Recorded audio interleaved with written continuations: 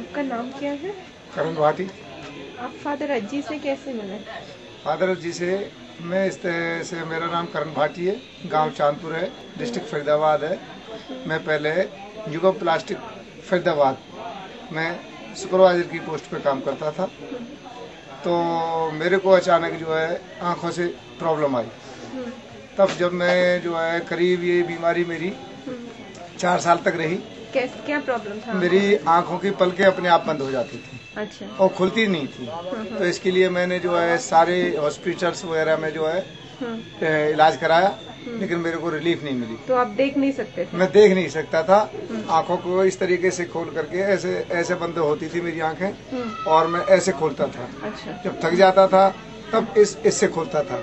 ये मेरी पलकें बिल्कुल जो है पलकों ने काम करना बंद कर दिया था। हाँ, जब जब मेरी पलकों ने काम बंद कर दिया तो मैं जो है ना बिल्कुल थक हार करके मेरा ऑल इंडिया मेडिकल के अंदर सोलह हज़ार पाँच सौ चौसठ रुपये का एक इंजेक्शन लगता था, जो तीन महीने के बाद डेड हो जाता था। तब मैं मेडिकल साइंस से बिल्कुल निराश होकर के एक दिन मेरे को पता लगा कि हमारे फादर जी ने एक कैंप लगवाया था आँखों का गाँव में।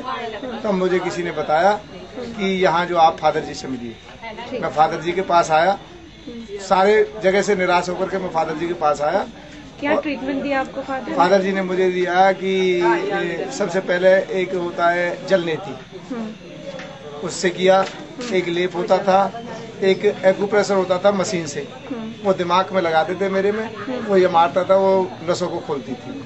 और कितने दिन में आपकी आँखें खुल गई? मेरा अ, तीन दिन में ही मेरे को जो है करीब जो है तीस परसेंट रिलीफ हो गया था।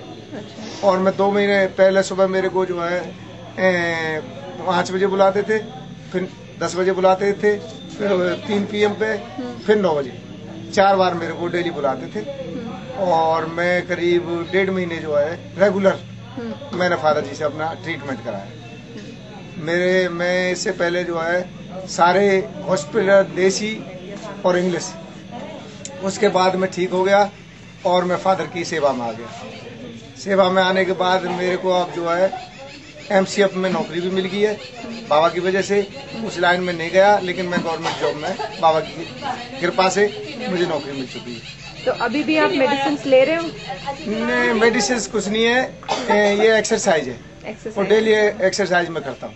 अब कितने कितने महीने हो गए होंगे ये सब होके? ये मतलब ये चार साल से मैं परेशान था। अब फ़िलहाल मुझे डेढ़ साल के करीब ठीक हो गए।